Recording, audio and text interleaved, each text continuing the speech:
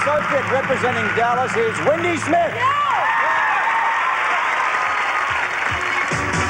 The toughest thing is staying up. You, you look around you and you see all these fabulous people and all this talent, and it's just, how am I different? How am I special? It's very difficult.